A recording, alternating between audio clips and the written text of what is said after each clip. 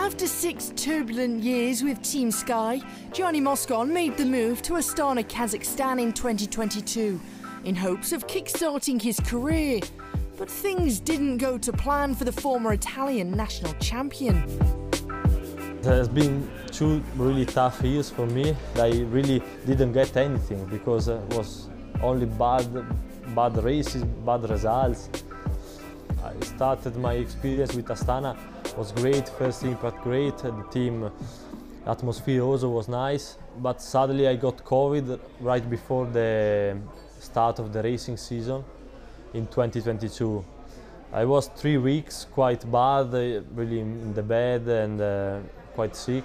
And then I started training and I had to come back to racing really quick. I was not fully recovered from the COVID. That was the problem, uh, racing too, too early, uh, too much. Easy to lose one year. Second year the same, go to Australia, I break my collarbone straight away, come back, and then straight after already racing. Racing, racing, racing, no time to train, and you start to get always more tired, your body don't react anymore, you, you are at the end of the season and you collect only DNF. I was really happy when I finished Giro di Lombardia in 2023. I was another person. I was so happy that everything was over. Uh, at that moment, I was really thinking that I, better than do another year in this situation, I prefer to stop cycling. I go to work on my farm, no stress anymore. I couldn't see the bike anymore. I was used as a rider to be part of the race, be in the first part, riding in the front, or be competing for the win. That's the cycling I, I love.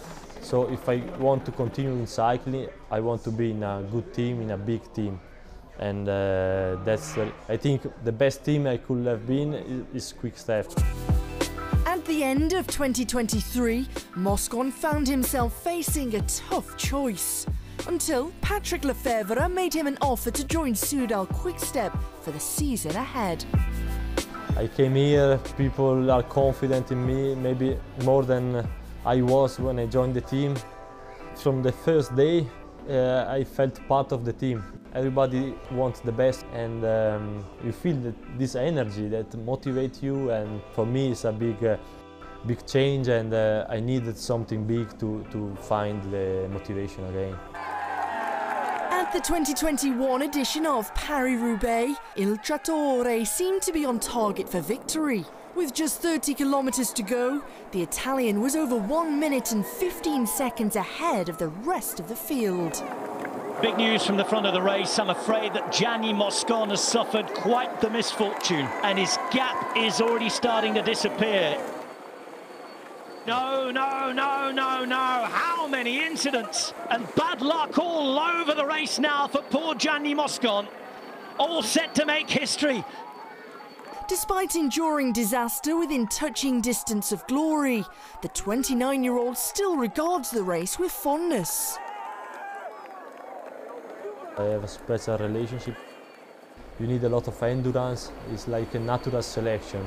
Uh, you don't need big short uh, power, but it's more about endurance and I always liked. From outside you always look at quick step and you think uh, how they can do, how they, they can ride so well, like uh, can they always be in the right spot, in the right moment. And being here now and uh, I can get the advantage, advantage from, from them, from their experience.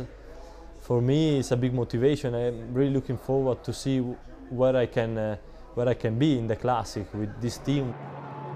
They have the seconds, and it's Pogacar who launches the sprint early. Pogacar trying to surprise them. Not many riders can compete with these superstars, but you have to try uh, another way to anticipate them or maybe play your card smarter and and try to find your spot. But everybody has to find another way, and uh, I will be with the with the rest of the, of the peloton.